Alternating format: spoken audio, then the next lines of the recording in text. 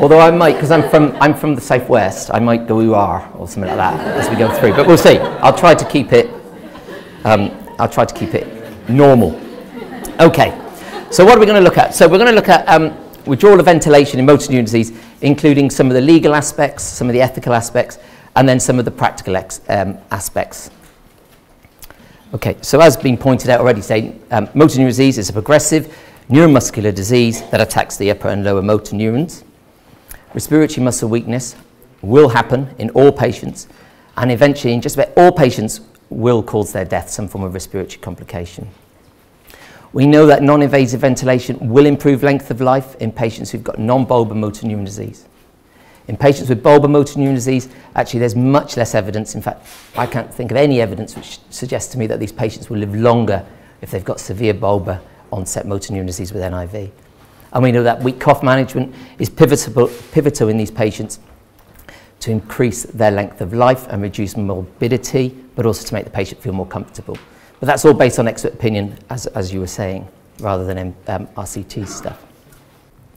Okay, so assisted ventilation and life support ventilation is a medical treatment that can improve the quality of life, improve symptoms, and improve survival in selected patients. But patients do, do not have to consent to that. And at any time during their disease process, they can say, I no longer want this therapy. Okay? even if they know it's going to kill them. But discontinued ventilation appears to generate far more concerns amongst healthcare professionals and lay, profession, um, lay people than maybe withdrawing of dialysis or stopping chemotherapy for, um, for a, a cancer of some description or withdrawing IV fluids at the end of life. I'll talk about that as we go through and why that might be. But in essence, if a patient has capacity and wants to stop ventilation, and stopping that ventilation will cause them to die. It's completely acceptable, it's completely legal, and I think ethically it is the right thing for us to do, and we'll be exploring some of these issues as we go through. But in reality, for many people, including, in my experience, some very experienced, some very senior clinicians, including some people high up organisations, it is confusing, difficult, and concerning. And some people feel it's euthanasia. But we'll talk about some of that as we go through. Let's take a closer look then. So we've got some evidence on this now. We've got some um, studies which I was involved with which looked at professionals and family experience of withdrawing ventilation in patients with MND. We know that professionals have said that providing the care for a ventilator-dependent patient who has asked for assisted ventilation to be withdrawn is practically and emotionally very challenging. Of course it's going to be. That's understandable. Although the ethics and legality are in theory very clear, in practice many professionals felt, and I think to a lesser extent, but still feel very uncertain about these aspects of managing patients. We're drawing a life support machine and the patient dies. And families have recounted in, the, in this study how care, while the withdrawal process was happening, how we failed patients during the withdrawal process. You're all aware of these, I'm sure. These are the four ethical principles of medicine. They're widely used and sometimes reasonably criticised. But the four main ones I'm going to talk about today in particular is autonomy, beneficence, that's doing good for the patient, non-maleficence, which is doing no net harm to the patient, and justice, which I'm not going to talk about too much. So I'm going to talk mainly about these, um, these three. And to illustrate this, I wanted to talk about David. David was one of my patients who was diagnosed with motor neuron disease when he was just about to finish his PhD at the age of 23. He started NIV at 25 and was tracheostomy ventilated. He chose to have tracheostomy ventilation for a variety of reasons, which I don't need to go into now, um, when he was 26. After one year on total life support ventilation, he felt that his quality of life was no longer acceptable to him, and he asked for his ventilation to be stopped, which we did, and he died very quickly. How do people feel? Can I have a show of hands about how people feel about that? Is that okay to be doing that? Just, you know, yeah? Good. There's lots of nods. Now, if I'd have done this talk three or four years ago, there'd have been lots more apprehension in the room. So that's great. So that's good. We'll talk a bit more about David as we go through, I think. So in terms of autonomy, and the autonomy is the main thing that's going to trump anything else ethically, really. as long as patients have the capacity to make his or her own decisions relating to medical care, they should have the autonomy to make those decisions. Okay?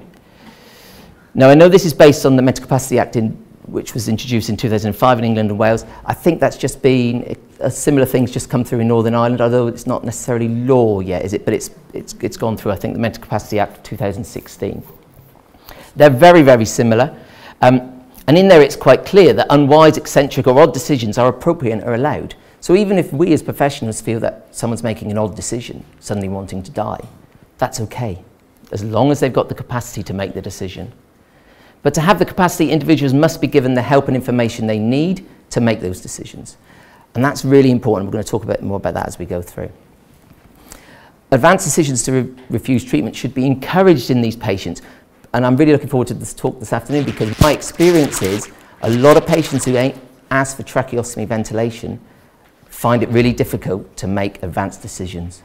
And we get diff into difficulties as, we, as the disease progresses and the patient's less able to communicate. But again, we'll talk a bit more about that in a minute. Okay, so ventilation then is a treatment and can be declined. And of course, David has the right to say, I no longer want ventilation, even if this is going to cause my death. But some people are a little bit concerned that this is suicide because he's taking his own life to a certain extent, potentially. And other people would say, well, if I turn off the ventilator, aren't I the person who's euthanizing the patient? Okay, so let's look at suicide to start with. Suicide is the action of killing oneself intentionally. Ventilation that the patients receive for however long it is, and some patients with tracheostomy ventilation live for many years. So I've got patients who've lived with tracheostomy ventilation for 10 years with motor neuron disease, and they feel their quality of life is still acceptable. Professor Stephen Hawkins had tracheostomy ventilation for goodness knows how long. The ventilation has prevented death from the motor neuron disease and prolonged life. Stopping the ventilation is merely re-establishing the chain of causality. So I'll show you a bit more, but I've got a slide on that in a minute. But what we're saying is it's the motor neuron disease that's causing his death, not the fact that we're taking him off the ventilator. He would have died a lot sooner without the ventilation. So what about euthanasia? at this side, and I don't know what happened here. They were exactly the same thing. Sorry about that. Um, but euthanasia is the painless killing of a patient suffering from an incurable and painful disease or in an irreversible coma. Again, stopping ventilation is merely re-establishing the, change of, the chain of causality. It isn't designed, an, action designed to cause death. So that's what euthanasia is. So David obviously isn't being euthanized. He's, having, he's got MND. That's what's causing his death. So this is a slide which sort of quite nicely shows the chain of causality. If I move away from the microphone, can everyone hear me, by the way? Because I tend to be someone who wants to do this when I'm talking, sorry. So we'll say here there's a catastrophe. Now, in this case, this is being diagnosed and getting motor neuron disease. Okay? The level of the patient's functioning from the motor neuron perspective and from the respiratory perspective decreases. And here the patient develops respiratory failure. If we don't intervene with some sort of treatment for the respiratory failure, the patient will die. But if we do interfere, actually the level of functioning can improve a bit, the quality of life is maintained, but eventually the patient gets worse. If the patient decides they don't want the treatment anymore, then they'll die. So you can see that the patient isn't dying because we're ceasing the intervention, they're dying because of this disease which will have killed them back here anyway. Okay? So this is completely acceptable, it's completely legal, and it's completely ethical. Interestingly, when we talk about ventilator dependence, I'm sorry this isn't a brilliant slide because the only way I could do it was take a photograph and, and uh, put it on my, uh, just email it to myself. But this is um, some audit of um, tracheostomy, sorry, ventilation withdrawal in patients with motor neuron disease and, some and one spinal injury patient. And all these patients were dependent on non-invasive ventilation. And you can see, although these patients were dependent on non-invasive ventilation, when we remove the ventilator, We'll talk a bit more about this audit in a minute. Some patients die very quickly, but actually, this patient here, who funnily enough had a spinal cord injury, um, he was one of my patients who actually been ventilated invasively for five years, and he, we were convinced he was a ventilator dependent. He never had a, barely a second off the ventilator in five years. When we disconnected him from the ventilator, he took 24 hours to die. So, although these patients are ventilator dependent, often removing the ventilator isn't going to cause their sudden death, even though we sometimes think it's going to be. So, if you've got capacity, you can make the decision at any time to say, I want to withdraw this life prolonging treatment. But we know that in motor neuron disease, we frequently get um, problems with communication because of bulbar weakness and facial um, muscle weakness, which makes it very difficult to communicate verbally or non-verbally. Um, Non-invasive ventilation and tracheostomy ventilation both interfere with being able to communicate. If you've got a mask on your face blowing air in, you're not able to communicate so well, you're not able to hit, uh, make yourself heard so well. And if you've got tracheostomy ventilation, and I would argue if you've got tracheostomy ventilation for motor neuron disease, you'd always have a cuff tube in to protect your airway, then you're not going to be able to communicate verbally at all.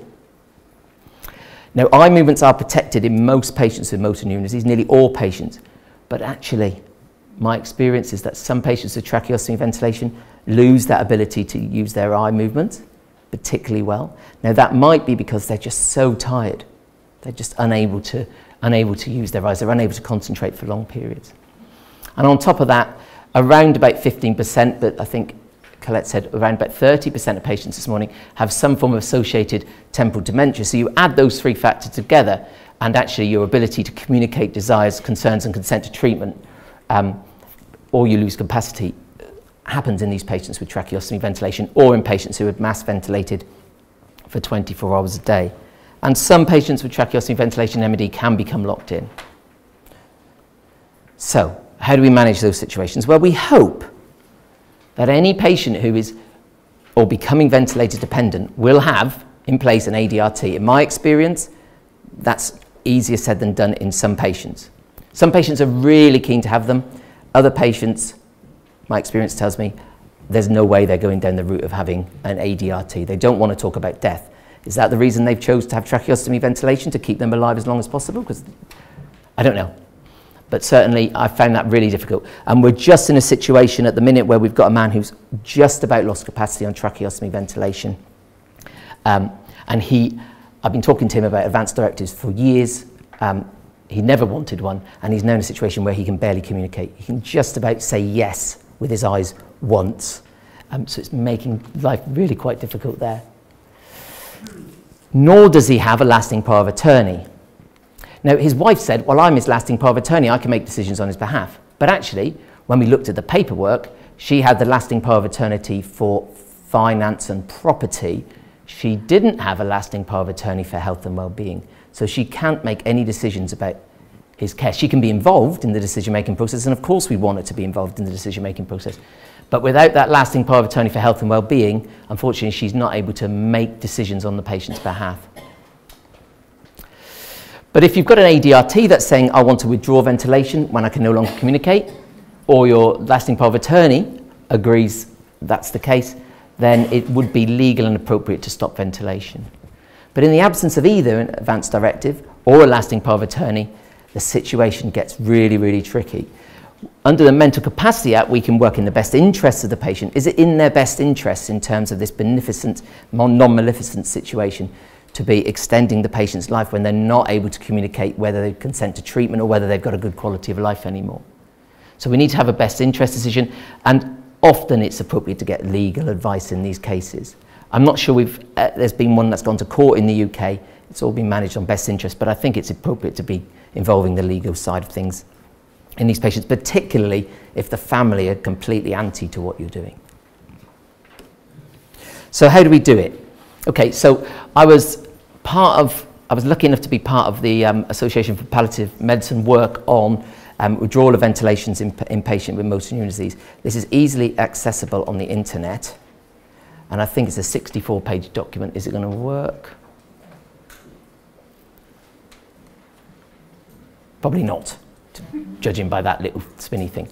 But you can all access this. If you just um, Google withdrawal of assisted ventilation association of palliative medicine, the, um, it comes up very nicely. And that gives you a very detailed um, document telling you exactly how you can manage these situations. But I'm just going to pick some key points from that. I bet I won't be able to move the slide on there because I've destroyed the IT. I might need some help here, IT person. Sorry. I often do this. I'll be all right now. All you got to do is look at it. Oh no. Yes. Okay. Thank you. Right. So the first thing to do is decide is this legal? Are we doing, is this process of withdrawal legal? So patient with capacity, they must obviously be making an informed choice. So we need to be giving them the information to be able to make this decision. They should have at least two conversations with two different professionals, one of whom should be a senior doctor. For the patient who has lost capacity, they must have a valid ADRT or lasting power of attorney for health and well-being. And there should also be a best interest meeting with the family and the, sorry, this is somebody's lost capacity, so with the family and professionals. For a patient who has lost capacity and does not have a valid ADRT or an LA, uh, lasting power of attorney, then we need a best interest meeting and probably some legal representation, particularly if there's a divergent view between um, the family and, and the medical professionals. Okay, communication is key to this. And it's important from the outset of setting patients up on non-invasive ventilation that they know that at any stage during their disease process they can withdraw from that ventilation or tell us they no longer want it. Okay.